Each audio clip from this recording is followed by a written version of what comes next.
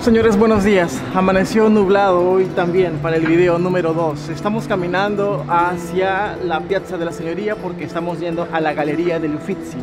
Esta es la pinacoteca más famosa de Italia, pero en un principio esta albergaba las oficinas de la magistratura.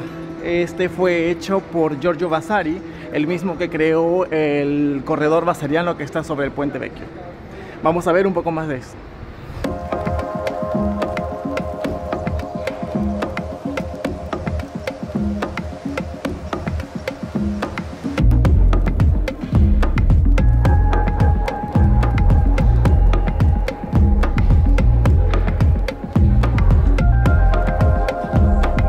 Llegar hasta esta parte del museo la verdad es que es bastante bastante agitador. Que fatiga la verdad. Es como subir tres pisos de corrido. Cansa mucho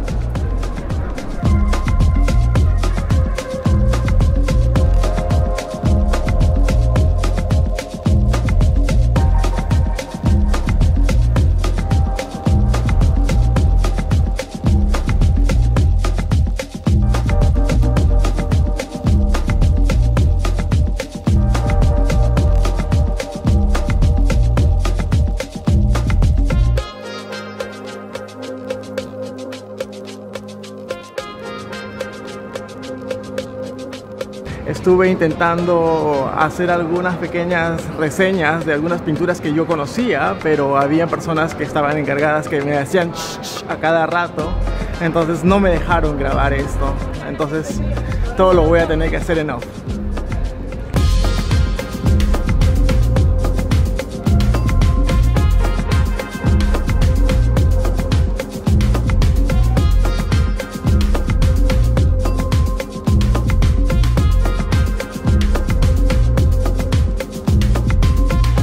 Y ya terminé con la Galería de Uffizi. La verdad es que no es tan grande como el Palazzo Pizzi, pero excelentísimas obras de arte. A mí mismo me gustaría tener copias de algunas de ellas. En la audioguía no creo que sea tan necesaria, pues todos los, todas las obras de arte tienen ahí su pequeña leyenda.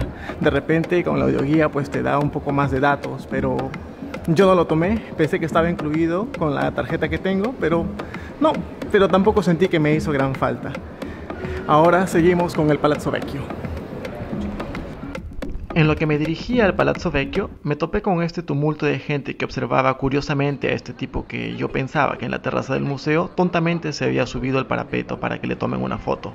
En sí, se trataba de un orate que tenía intenciones de suicidarse o llamar la atención. A causa de esto, cerraron el Palazzo Vecchio y la logia de la señoría temporalmente.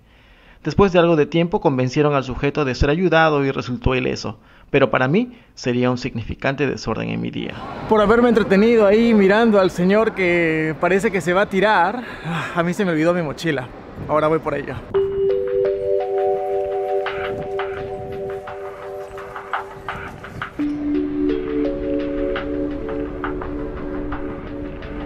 Señores, les cuento que cometí un grandísimo error haciendo la cola para entrar al Palazzo Vecchio, revisando mi billetera, me di cuenta que no, no, me había dado cuenta más bien de que mi reservación para entrar a la cúpula era para hoy.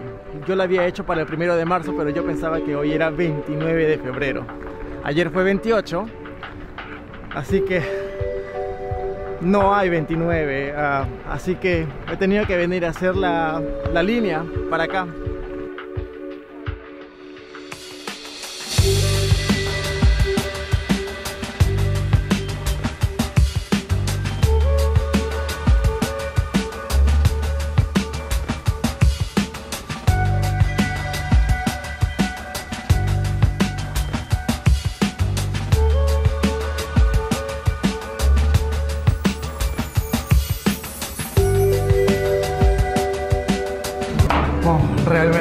Subir estos 400 escalones. Parece que ya los hubiera completado, pero aún falta más por subir. Con razón que cuando estaban construyendo... E- Perdón, con razón que cuando estaban construyendo eso, no dejaban que los trabajadores bajen a comer, así que todo lo hacían ahí arriba. bebían y comían. Oh fuck, oh shit, oh fuck.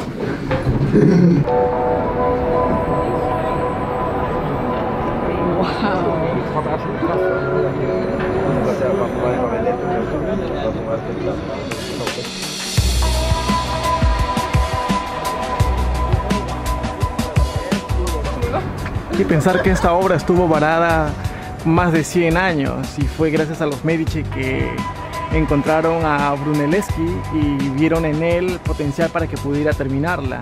En ese entonces él usaba técnicas que nadie más usaba, así que los Medici decidieron arriesgarse, puesto que si ya habían ayudado a un pirata a que llegue al papado, ¿por qué no ayudar a un artista ortodoxo?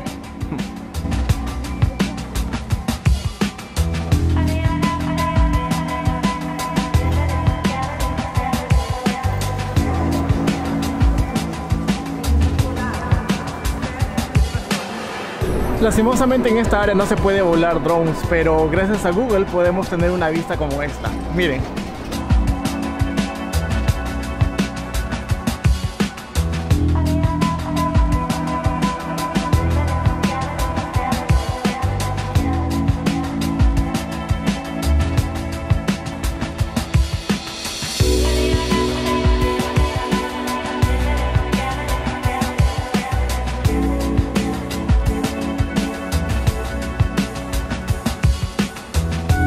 Ahora estamos viniendo al Palazzo Vecchio, eh, edificio que ahora es usado para la municipalidad de Florencia. En lo alto de esta torre, Cosimo Medici fue encarcelado por sus enemigos los Avizi. Este fue declarado culpable de haber actuado en contra de la ciudad de Florencia y es más, lo iban a ejecutar, pero él por tener tanta influencia negoció su libertad y así pudo librarse de esta ejecución.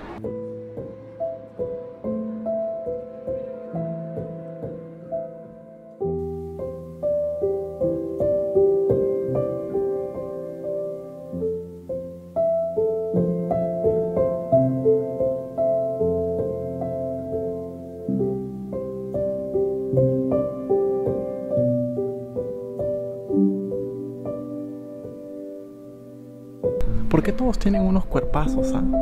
Ninguno era así, medio gordito.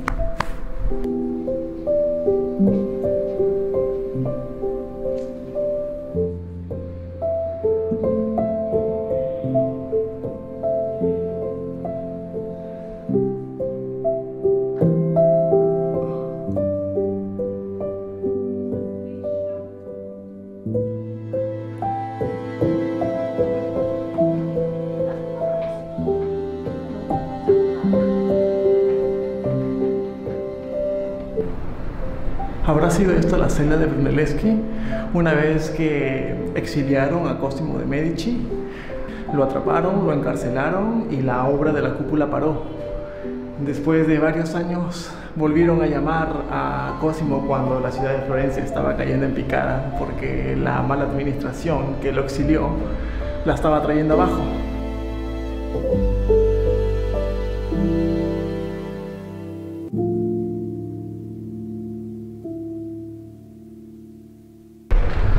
Mochila nuevamente se me estaba olvidando, ya me estaba yendo.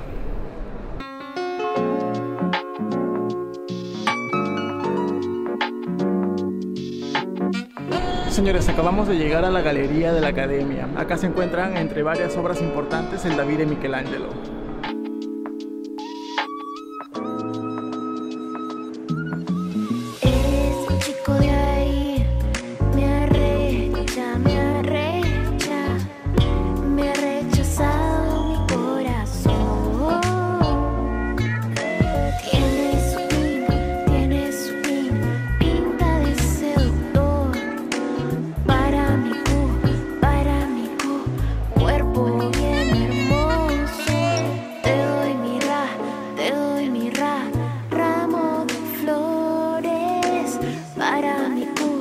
para mi cumpleaños.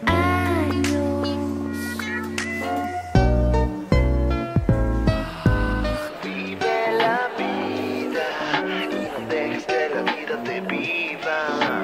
Vive la vida, y no dejes que la vida te viva. Mueve la cabeza o se pone tiesa, mueve la cabeza esa voz se pone tiesa, mueve la cabeza. Vive la vida y no dejes que la vida te viva. Vive la vida. Rosa, non è la rosa, rosa non è la rosa che porta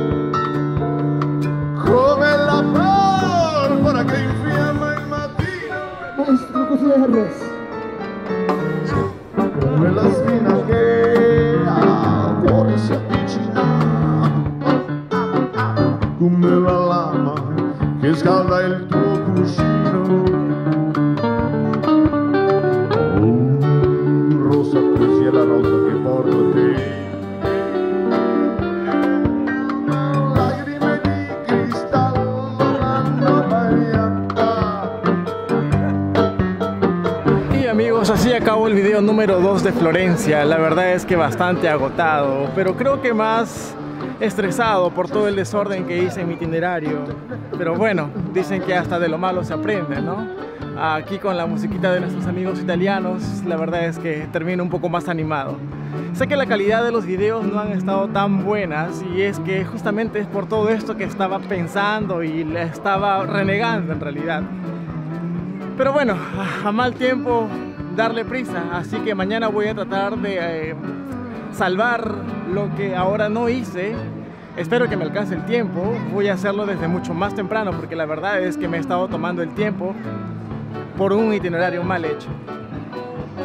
Ah, creo que en realidad el video, en vez que se llame ¿Qué hacer en Florencia? se va a llamar ¿Cómo hacerlo en Florencia? Eh, bueno, eso es todo amigos. Espero que les haya sido útil de algo, por lo menos, y nos estamos viendo mañana. Un abrazo.